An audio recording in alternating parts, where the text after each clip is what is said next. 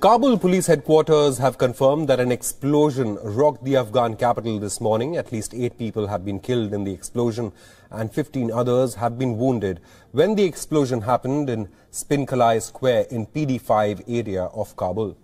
A security source said the car bomb detonated in the west of the capital. Children, women and elderly are among the injured. Houses around the attack site have also been severely damaged. Three vehicles also caught fire in the area. Parliament member Haji Khan Muhammad Wardak's vehicle was the target of this explosion. However, Wardak has survived this attack.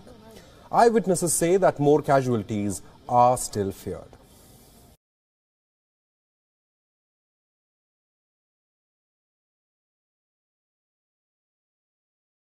For days, scientists and opposition politicians have been saying it.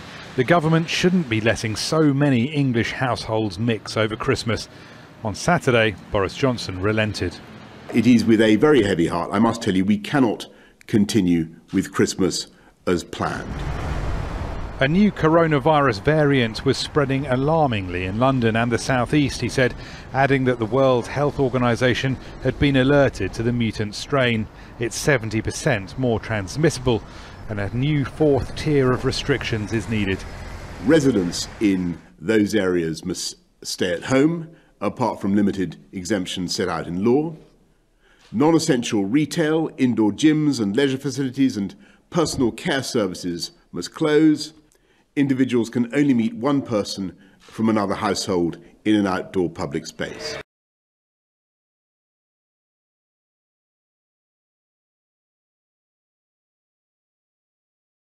With no bars, no restaurants, and no large family gatherings, Italy is facing up to the prospect of a subdued festive season.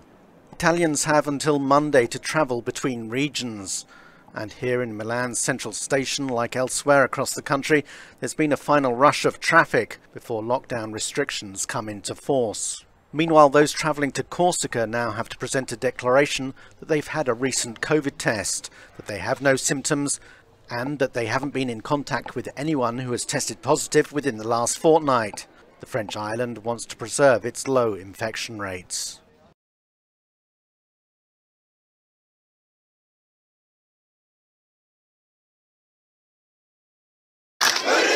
This was Khartoum, Sudan, December 2018. And this is the sound of Khartoum this Saturday. The chant on the streets is the same freedom. The mass movement in 2018 and 2019 achieved something that once felt impossible peacefully deposing Sudan's feared dictator of 30 years, Omar al Bashir. But two years after his ousting, many Sudanese people say not enough has changed, so they're out in the streets again. Even though Bashir is behind bars, the military still wields huge influence in Sudan.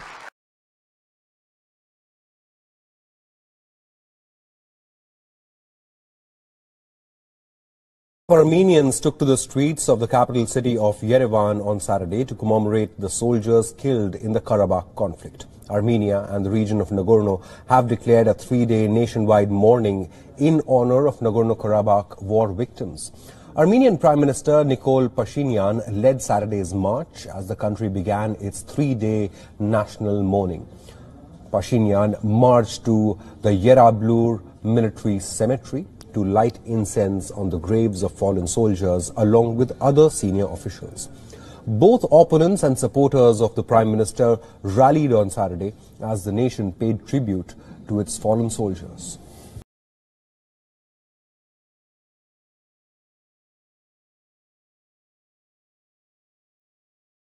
Well, as you mentioned, it's quite a, uh, an important, a significant sum that has been being promised to anyone who who knows where the TPLF leaders are hiding. The government is promising 200, just over 200,000 euros. That's 10 million Ethiopian birr. And the prime minister had already announced that arresting the TPLF leaders would be a top priority uh, of the government. There's been arrest warrants issued against leaders such as Debretsion Gebremichael and dozens of other leaders leaders. So far, it's impossible, of course, to know where they are hiding, if they are still in Tigray or if they were able to flee abroad. If they are still in Tigray, it's quite likely that they will be hiding in the mountains of Tigray. It's a quite mountainous region, and the areas that have been confirmed to be under the control of the National Army are mainly located around the main roads, but other areas are still extremely difficult to access.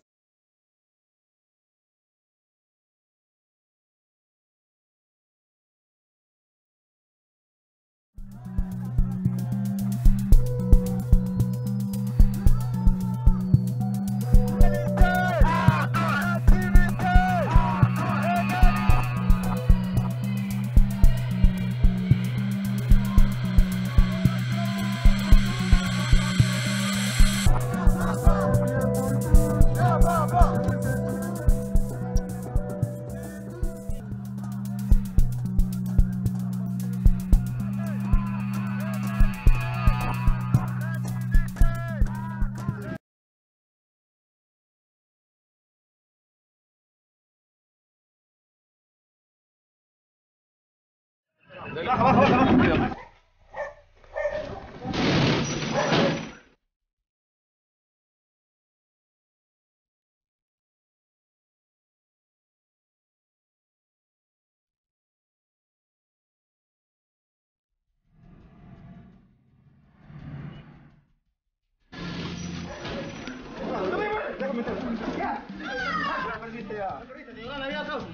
Pasamontañas y un arma de fuego. ¿Guantes?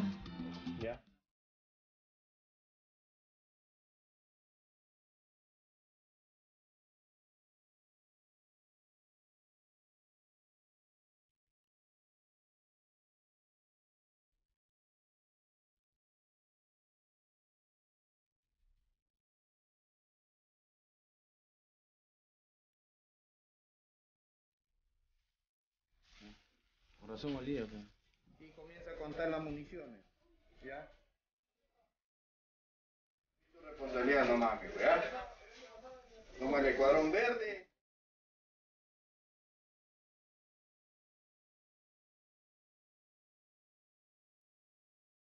Rebel leaders and President Faustin Archange Touadéra in a room together last November, signing a pact of peace and reconciliation. But that's been broken. At least 11 rebel armed groups are moving towards the capital, Bangui, to put pressure on the government days before a presidential election. Touadéra, who is running for a second mandate, is favorite. But the rebels, the Coalition for Patriotic Change, said in a statement the president failed to deliver on an agreement to offer its leaders position in government and funds to disarm their troops. A government spokesman describes this as an attempted coup. En effet, Central African Republic is facing an attempt to destabilize a democratically elected government. We believe former President Bozize and foreign mercenaries are organizing attacks. François Bozize's attempt to run for re-election has been invalidated by the Constitutional Court. In 2013, he was accused of fomenting religious divisions, calling on Christian militia groups known as the Anti-Balaka to attack pro-government fighters known as the Anti-Seleka.